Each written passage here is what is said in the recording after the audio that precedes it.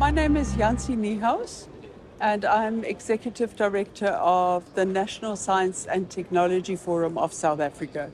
You know, if you think of all the electronics we're using and that are every day, there's something new that can make our lives easier and more efficient and more productive. Science is behind all of that.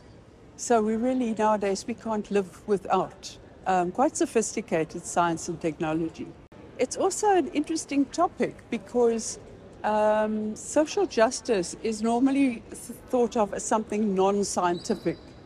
But now we're making all these connections between science and technology and social justice.